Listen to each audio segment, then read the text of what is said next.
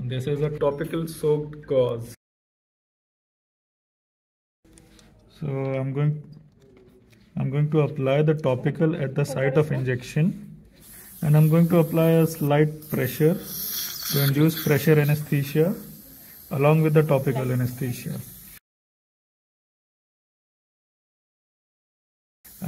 pressure apply करूँगा gauze से you will feel some discomfort but pain नहीं होगा गॉस से दबा रहा हूँ ठीक है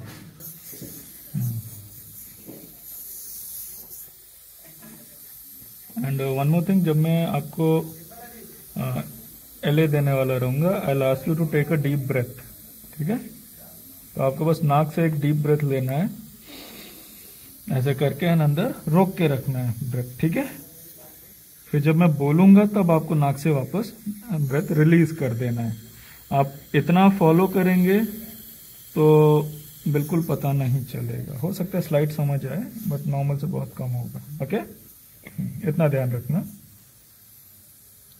ठीक है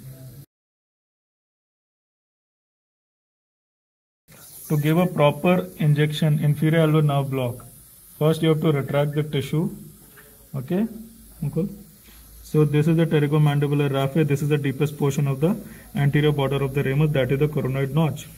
So three four three four distance from this, or one fourth distance from this. You just have to keep two things in mind.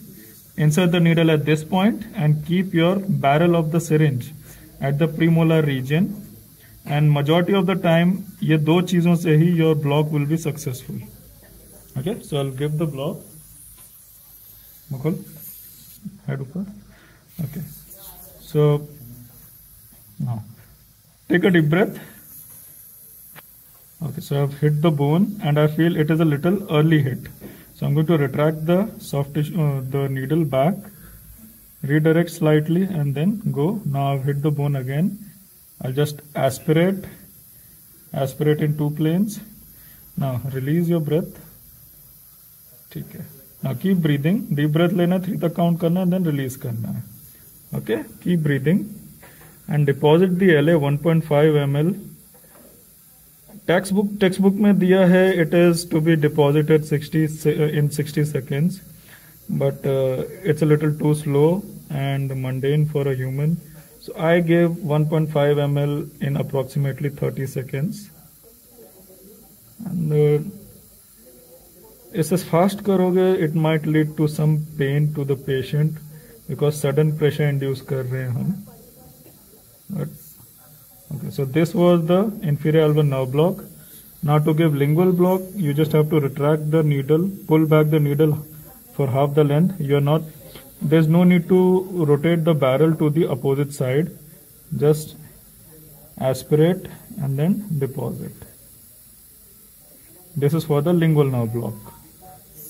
Now take a deep breath again. Okay, close. ये lip पे numbness feel हो रहा है। Yes sir and what about the tongue half of tongue half of the tongue left side yes tip पे yes sir okay so I will show you so what I do in all my patient इस पे suction करो। Is first I show the patient what actual pain is ज़्यादा नहीं होगा कोई don't worry so I am going to poke the mucosa on the opposite side where I've not given the LA with the blunt end of the periosteal elevator. Okay. So the patient has reacted to the pain. Now when I show it to the side where I've given the LA, even if, if I press it a little hard, the patient doesn't experience any pain. Just to make sure that the inferior elbow nerve block has acted, you should check it anterior to the mental foramen that is the premolars and canine region यहाँ पे pen हो रहा है okay so inferior alveolar nerve block has acted fine and the long buccal has acted fine now I'm going to check for the lingual यहाँ पे pen हो रहा है okay what about this no okay so can you compare right and left side यहाँ पे pen हो रहा था यहाँ पे नहीं हो रहा है है ना? Yes. थोड़ा सा समझ आएगा ओपन सो ऐसे समझ आएगा that I am applying pressure you won't feel any pain okay